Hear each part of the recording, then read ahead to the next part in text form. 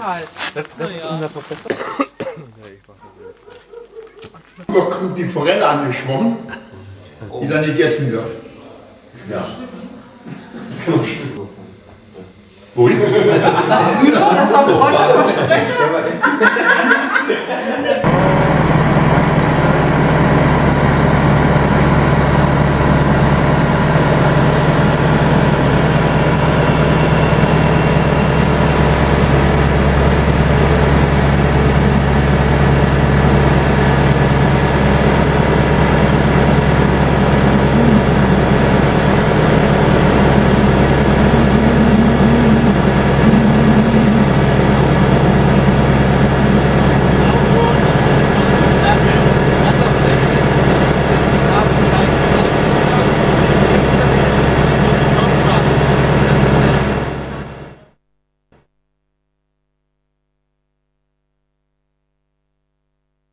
Mein Vater war Karl Lütgen, meine Mutter Wilhelmine, geborene Koch.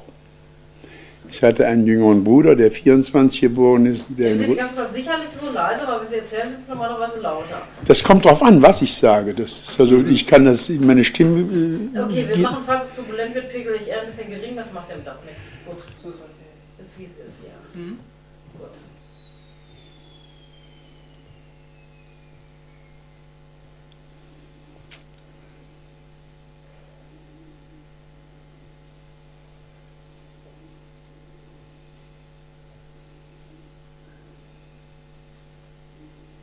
Schäuble.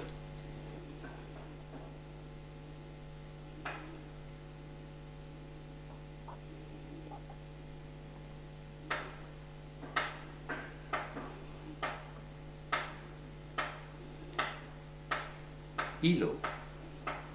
Ilo, ein kleines Dorf mit ca. 130 Einwohnern in der Märkischen Schweiz, nördlich von Strausberg gelegen, in einer wunderschönen natürlichen Landschaft, natürlich gebliebenen Landschaft, weil keine Industrie sie verseucht hat. Aber auch keine Chance für die Menschen hier einer Existenz nachzugehen. Salem. Salem, Elite-Internat am Bodensee. Professor Hahn war dort mit dem derzeitigen Prinzgemahl der Königin Elisabeth von England. Wovor haben Sie Angst? Eigentlich nur vor mir selber. Der erste Mensch, den Sie getötet haben, der durch Ihre Hand gestorben ist? Im Krieg, aber ich habe nicht äh, Auge in Auge getötet, sondern ich habe mit Feuerwaffen getötet. Nein, das ist nicht wahr. Entschuldigung, ich habe einmal einen Menschen durch einen Genickschlag getötet, als ich in russischer Gefangenschaft war bei der Flucht. Ihr Sohn?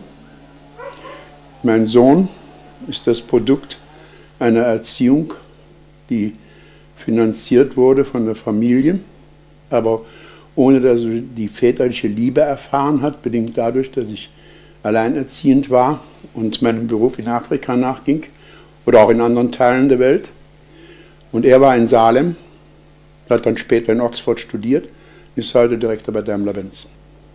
Heilig Selassie als Religionsstifter? Die Königin von Saba war eigentlich die Religionsstifterin und er der Abkomme.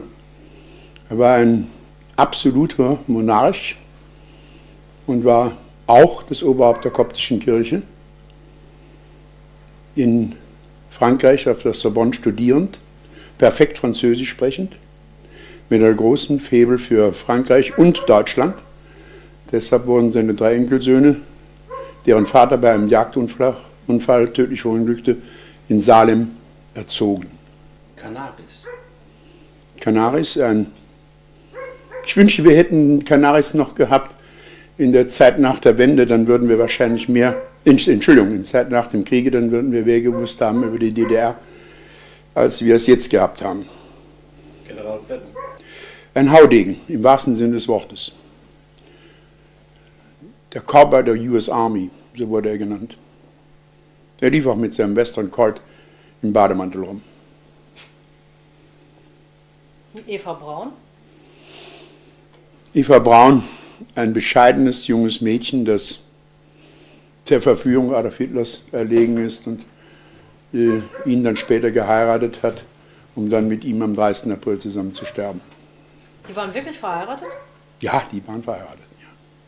Ihre Schwester war mit äh, Fegelein verheiratet, SS-Obersturmbannführer, der mit den Russen Verbindung aufnahm äh, im April 1945 und deshalb von Hitler, das heißt nicht von ihm selber, aber auf Befehl Hitlers erschossen wurde. Hatte er seinen eigenen Schwager erschießen lassen, weil er mit den Russen Verbindung aufnahm. Haben Sie im Krieg Macht oder Ohnmacht empfunden? Beides.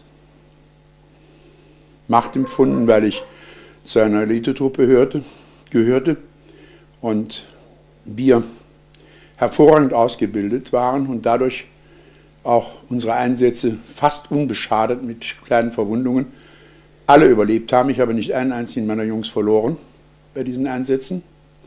Ohnmacht gegen das, was wir nicht beeinflussen konnten, weil es vom politischen her stärker war als wir.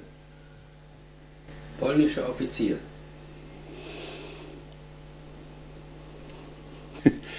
Ich bin 1944 in ein amerikanisches Kriegsgefangenenlager gebracht worden, wo nur Offiziere waren, als angeblich abgeschossener Pilot eines äh, britischen Bombenflugzeuges. Sexuelle Revolution? Da kann ich nichts zu sagen. Ich bin kein sexueller Revolutionär. Ich habe mich auch nicht dafür interessiert, was sexuelle Revolution ist. War da Meinhof? Kann man sagen, verirrte Jugend in einer Zeit, wo kein Inhalt gegeben wurde, der diese Menschen so überzeugte, dass sie zu Deutschland standen, wie es hätte nötig sein müssen? Die meiste Zeit war ich gar nicht in Deutschland in diesen Jahren. Aber selbst wenn ich hier gewesen wäre, hätte es mich nicht groß interessiert. 20. Juli. 20. Juli, einer der viel, viel, vielen fehlgeschlagenen Versuche, Adolf Hitler zu liquidieren. Ich persönlich habe eine andere Einstellung, als die Graf Stauffenberg und die, der Kreis um ihn hatte. Wenn ich einen Diktator wie Hitler erledigen muss, dann muss ich mein eigenes Leben mit riskieren das heißt, die Bombe zünden neben Hitler stehend, um dabei mitzusterben.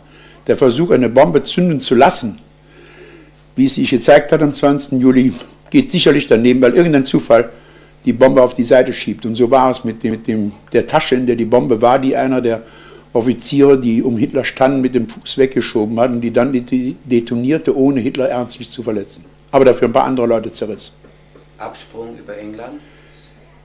1941 äh, sind wir mit drei jungen, 19-jährigen Fallschirmjägern über England abgesetzt worden, in Zivil abgelandet, also in Zivil abgesetzt worden, um etwas herauszufinden über Rudolf Hess und haben weisungsgemäß an einem bestimmten Tag in einem bestimmten Planquadrat auf der Nordsee sein müssen, um dort abgeholt zu werden über ein U-Boot. Und das hat auch geklappt. Aber über Herrn Hess haben wir nicht viel erfahren, außer dass er irgendwo in Schottland sein sollte. Aber wo, konnten wir nicht feststellen. Rohwedder. Detlef Rohwedder hat in seinem beruflichen Leben bewiesen, dass er parteiunabhängig für Deutschland Dienst tat, sowohl in der Industrie als in der Politik, hat nach der Wende, als sich niemand fand, der die Treuhand übernehmen konnte, sich bereit erklärt, der Topmann der Treuhand zu werden. Es ist bedauerlich, dass er einem Opfer von Attentätern erlegen ist und ich glaube, wenn er geblieben wäre, hätten wir die Situation nach 1981 Ostermontag besser gemeistert, als sie jetzt gemeistert worden ist. Kanada. Kanada, ein unendlich schönes Land mit weiten man kann Tage durch Kanada wandern und sieht keinen Menschen außer ab und zu einem Elch oder mal einen Schwarzbär. Sie selbst dort? Ich selbst habe zunächst einmal den Auftrag gehabt, eine Feasibility Study, das heißt eine, ein Transparentmachen einer bestimmten Regions, Region Kanadas durchzuführen zum Zwecke der Ermittlung für den Tourismus. Maritim. Maritim eine Idee, etwas Neues im Hotelwesen anzubieten, das zu dem Zeitpunkt auf dem Markt fehlte. Haben Sie hier eine Berufung gespürt? Ja. Mehrfach sogar, auch im Augenblick. Ich kann mich berufen fühlen, wenn ich einen Grund habe, mich absolut einzusetzen. Und das tue ich jetzt zum Beispiel in ILO. Oder habe es vorher im Hohen Fleming getan, im Raum südlich Potsdam. Die, die Zeit des Militärs war keine Berufung. Dafür war ich zu jung. Verräter. Nehmen Sie die 20. Juli Stauffenberg-Geschichte. Das waren Verräter am Nationalsozialismus, die ich aber absolut billige. Und wahrscheinlich auch mitgemacht hätte, wenn man mich danach äh, oder wenn man mich gebeten hätte oder mich davon überzeugt hätte, dass es das Richtige gewesen wäre. Gnade der späten Geburt. Bin ich überfragt. Ich weiß nicht, können Sie mir dafür noch ein Wort dazugeben? Weißer Jahrgang. Ist es, äh, ja, ich weiß was, jetzt weiß ich was. Ist es unbedingt äh, schätzenswert, dass Menschen nicht die Erfahrung machen, dass äh, Militarismus zum Beispiel äh, nicht schlecht sein muss, wenn er richtig angewendet wird? Äh, ist Gehorsam sein äh, nicht etwas, was man lernen sollte im Leben? Im äh, Militarismus lernt man gehorchen, lernt man zu organisieren sein eigenes Leben. Und das ist das, was der Weiße Jahrgang nicht gelernt hat. Ihre Emotion nach dem Genickschlag, nach der Tötung durch Genickschlag. Äh, es gab nichts. Äh, Schauen Sie, wir waren 1941, äh, waren wir also junge, wirklich junge, 19-jährige Bengels und äh, saßen auf Motorrädern und suchten Panzer, die verloren gegangen waren, irgendwo im Schnee. Und dann stehen plötzlich vor uns russische Panzer und nehmen uns gefangen, schleppen uns nach Moskau. Das war ungefähr 40, 40 Kilometer äh, westlich Moskau, wo das passierte. Schleppen uns nach Moskau in, ein, in eine Folterkammer. Mir hat man in den Mund getreten, sämtliche Zähne abgebrochen, sodass die Wurzeln sechs Wochen später rausoperiert werden mussten. Hat mir in den linken Arm geschnitten und Salz reingestreut, um mir Schmerzen zu bereiten. Hat mich mit Peitschen und Widerhaken, die Narben können Sie heute noch an meinem Körper sehen, geschlagen, einem Kameraden von mir den Arm auf den Tisch festgebunden, die Hand so lange gedreht, bis der Handteller um 180 Grad gewendet nach oben war und die Adern rissen und er dann verblutete, wo wir dabei saßen. Und als wir waren sechs in die Gefangenschaft gekommen und dass wir dann mit fünf, weil der eine Kamerad tot war, dann in ein Gefangenlager gebracht wird, wurden, nachdem man von uns nicht erfahren konnte, was man erfahren wollte, nämlich wie sind Hitlers Angriffspläne. Die Russen müssen also wirklich schwachsinnig gewesen sein, zu glauben, dass ein Gefreiter oder ein Unteroffizier die Pläne Hitlers weiß, wie er Moskau erobern will. Und auf dem Weg zu diesem Gefangenenlager, wo man uns mit einem offenen LKW hinfuhr, war ein Schneegestöber und der LKW kam nicht weiter und wir wurden in einen Ziegenstall bei einer Kolchose eingesperrt, um dort den Schneesturm abzuwarten. Und ich selbst konnte also gar nicht sprechen, weil mein Mund ein einziges Wrack war, im wahrsten Sinne des Wortes. Und meine Jungs, einer meiner Jungs sagte, Mensch, äh, guck mal, ob du uns nicht rausholen kannst. Ich habe den russischen Soldaten, der vor der Tür dieses Ziegenstalls stand, überlistet, die Tür aufzumachen und mich herauszulassen, weil ich eine menschliche Notdurft verrichten wollte. Das heißt, ich wollte Pipi machen gehen. Und als er sich bückte, um den Riegel wieder für die Ziegenstalltür, die etwa 70 Zentimeter hoch war, zu schließen, habe ich ihn mit der Hand, Handkante ins Genick geschlagen. Das hatten wir gelernt als Fallschirmjäger im Nahkampfausbildung. Dass er ein Genick war, der hat also nicht gelitten, der hat gar nicht gemerkt, dass er gestorben ist. Und dann lag er da tot und dann haben wir ihn ausgezogen, haben seine gesamte Kleidung genommen, denn wir hatten nichts, wir hatten keine Winterkleidung. Der eine hat die Mütze, der andere einen Mantel, der dritte den Stiefel oder nur einen von seinen Feldstiefeln. Und so sind wir abgehauen bei etwa 35 Grad Kälte durch meterhohen Schnee Richtung Westen. An den Bäumen haben wir Tut das weh, so ein Handkantenschlag? Man spürt, man spürt, ja, man spürt es. Wenn man richtig zuschlägt, dann spüren sie es. Mhm. Natürlich. Sie müssen die Wirbelsäule brechen. Ne? Das ist natürlich etwas, was Sie spüren in der Hand. Wut. Nein, nicht Wut. Äh, Die, nein, der arme Kerl hatte doch gar nichts getan. Der war ja bloß Soldat und hatte uns zu überwachen, aber um freizukommen, musste er eliminiert werden. Und wie wollen Sie das anders machen, indem Sie ihn so ausschalten? Wenn er nicht tot gewesen wäre, sondern nur betäubt, wäre mir lieber gewesen. Ich habe also den Schlag nicht getan, um ihn bewusst zu töten, sondern ich wollte ihn einfach ausschalten.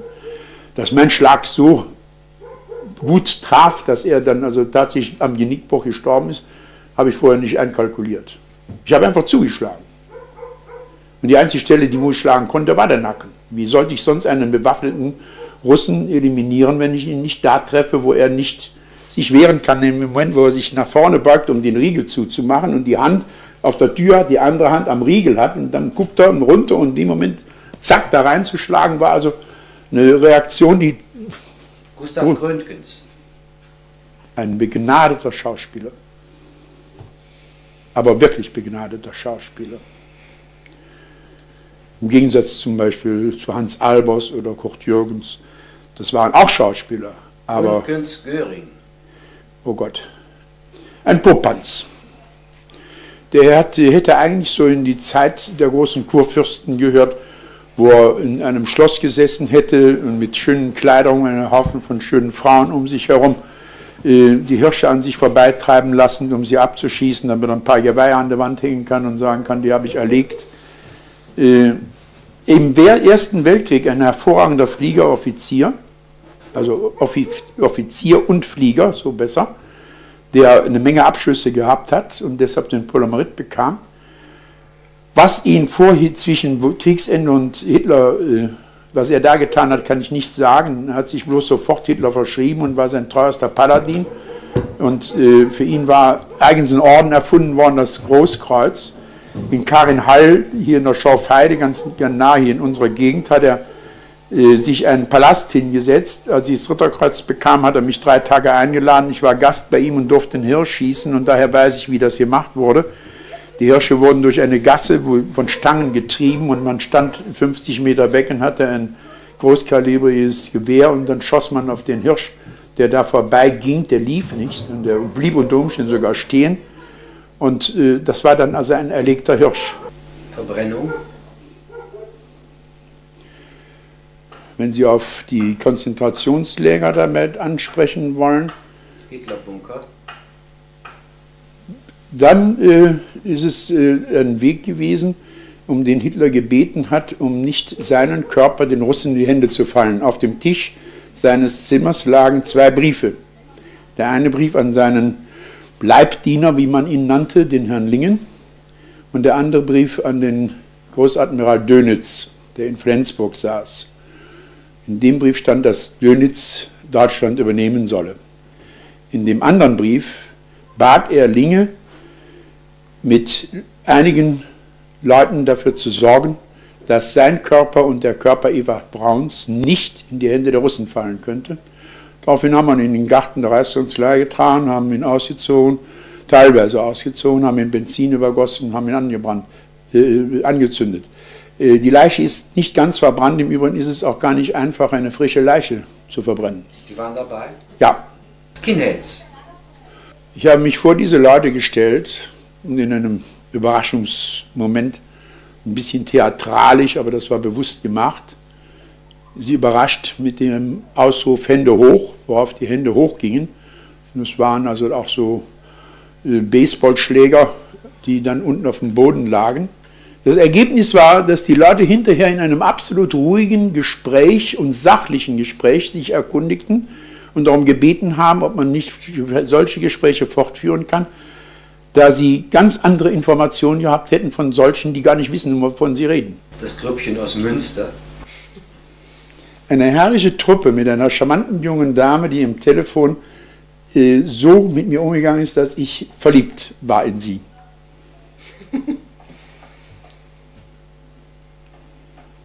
Was wir von ihnen noch nicht wissen. Oh Gott. Zum Beispiel.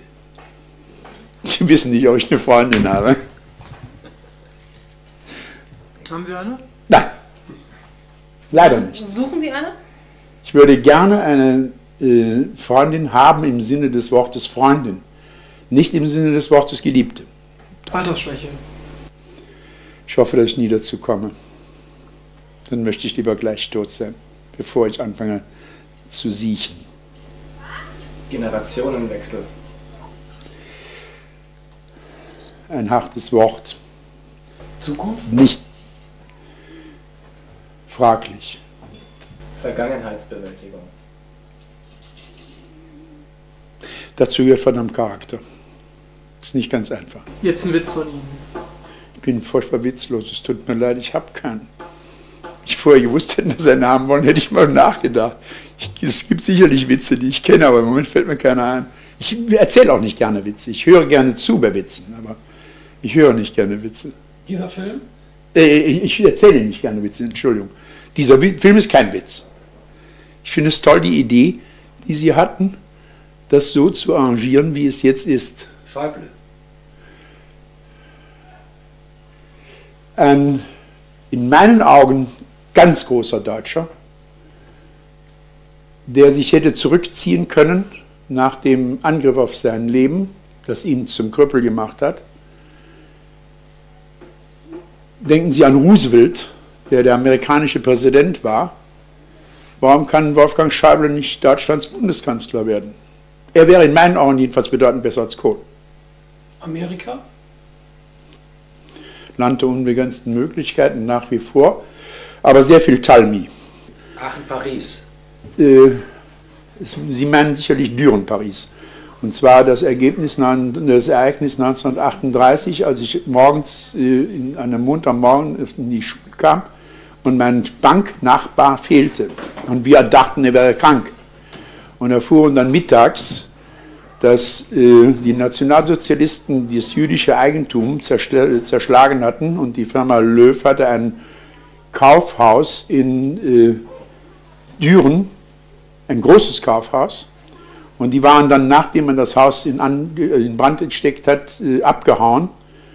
Und 1940, als der Frankreich-Feldzug fast zu Ende war, Paris bereits erobert war, war ich in Paris mit meiner Einheit und wir gingen abends über die Straße und da stand ein Mensch, der mir bekannt vorkam, den ich aber im Augenblick nicht einordnen konnte und ich ging dann vorbei, guckte aber sehr intensiv in seine Augen und er guckte mir in die Augen und sagte, geh weiter, ich folge. Und da wusste ich, wer es war. Ernst Löbmann, Klassenkamerad, der Sohn des jüdischen Kaufhausbesitzers. Und dann haben wir uns getroffen, hat er erzählt, dass seine Eltern in der Nacht abgehauen sind, dass die Eltern schon in Amerika sind, dass er aber in Frankreich bleibt und zur Resistance gehört. Weltjudentum.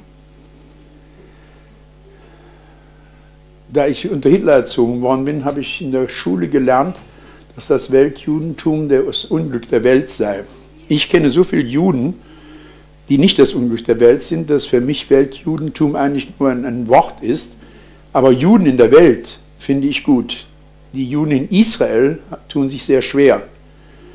Aber das liegt, glaube ich, mehr an der Mentalität der Araber als an der äh, Unflexibilität der Israelis. Mitläufer. Schreckliche Menschen. Mitläufer Lütgen. Ich weiß, wüsste nicht, wie ich mitgelaufen bin. In, Den Krieg. ich bin nicht, eigentlich nicht mitgelaufen im Krieg. Wenn ich mitgelaufen wäre, dann würde ich mir einen ruhigeren Job gesucht haben im Krieg. Das wäre gar kein Problem gewesen. Schon mein Vater hätte mir geholfen, sofort auf die Universität zu gehen und zu studieren. Egal, was ich studiert hätte. Später Einsicht.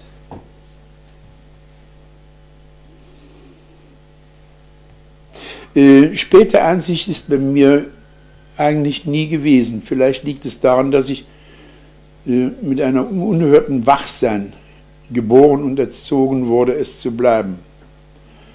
Das heißt, äh, wenn irgendetwas für mich nicht mehr begreifbar oder komisch wurde, dann habe ich mich entweder rausdividiert und habe es dann von hinten aufgerollt, um festzustellen, ob man weitermachen soll oder die Finger davon lassen soll. Warum Soldat geworden? Äh, eine sehr einfache Rechnung. Uns wurde in der Unterprima gesagt, wenn ihr euch als Unterprimaner freiwillig zum Militär meldet, dann kriegt ihr das Abitur und der Krieg ist in einem Jahr vorbei. Länger brauchen wir nicht. Sah ja auch so aus, in 18 Tagen Polen, in 6 Wochen Frankreich, was blieb denn noch übrig? 8 Wochen für England. Da wäre der Krieg ja vorbei gewesen.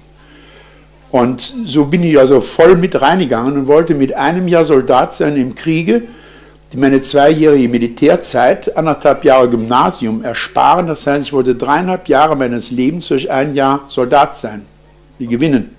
Dass daraus fünf Jahre Krieg geworden sind, das war eine Fehlkalkulation. Mein Vater hat mich vorher gewarnt. Wann war die erste Einsicht, dass das Dritte Reich äh, schlimm ist?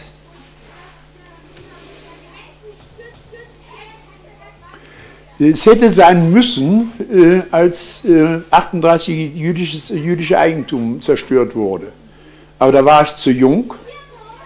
Ich war 16 und äh, war schon äh, fünf Jahre lang Hitler nationalsozialistisch infiltriert worden in der Schule und während des Hitlerjugenddienstes und habe dann auch geglaubt, dass das Judentum wirklich äh, nicht gut sei.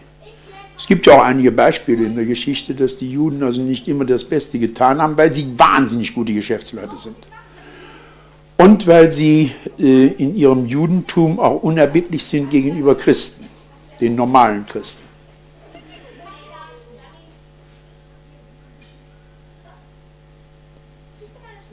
Was soll ich Ihnen sonst darauf? Die Wende zur Einsicht. Die, die Einsicht, dass man irgendwo begrenzt ist in seinen Möglichkeiten, habe ich äh, erst relativ spät gelernt.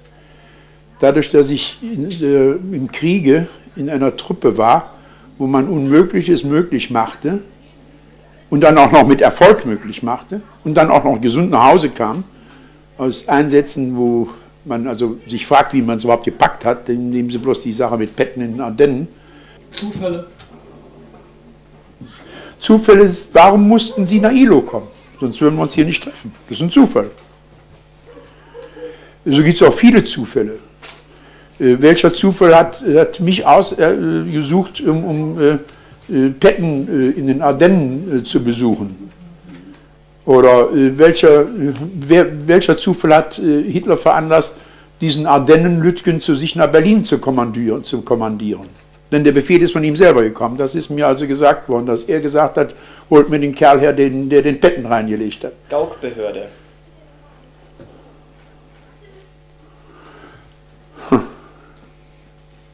Wir hatten sowas nach dem Krieg bei uns ja auch, sowas ähnliches. Äh, ich weiß nicht, ob man, äh, ob man damit äh, eine Situation bereinigen kann. In jedem System gibt es Leute, die aus dem System heraus für sich selbst am besten sorgen können. Das waren die, also die in der DDR äh, an Schaltstellen saßen. Das war im Nationalsozialismus die, die da an Schaltstellen standen. Aber denken Sie nicht, dass von Adenauer bis Kohl nicht auch Leute an Schaltstellen sitzen, die sich selbst dabei bereichern. Oder bei den Gewerkschaften, nehmen Sie auch den Sternkühler, der für eine Million Aktien von, von Daimler-Benz sich erschlichen hatte, ja, mit dem Preisvorteil. Deshalb musste er ja auch gehen. Schall. Ein unerhörter Mann, den ich bewundere. Das ist der einzige aus der ganzen früheren deutschen demokratischen Republik, der die Rotzbe hat, sich den Westen zu stellen, zu sagen, hier bin ich und ich sitze hier am Tegernsee und ich bezahle dafür, dass ich hier lebe. Und nur können wir ja mal gucken, was ich getan habe. Was glauben Sie, wenn der den Mund aufmachen würde? Herrgott, der armes Deutschland. Genuss. Oh, ich liebe ihn. Bis zum Exzess. Ob Eiscreme oder in der Liebe, ich liebe ihn, den Genuss. Leben nach dem Tod. Kann ich nichts zu sagen, ich denke nicht dran. Wenn ich tot bin, bin ich tot. Ob ich dann was, irgendwas weiterlebe als Fliege oder was weiß ich was oder wiederkomme, kann ich nicht sagen. Es kann sein, dass ich schon mal irgendwer war. Vielleicht wäre ich gerne ein Götz von Berdichen oder irgend sowas gewesen früher mal, aber. Fragen alle uns. Wann kommen Sie wieder? Bin mal gespannt selbst.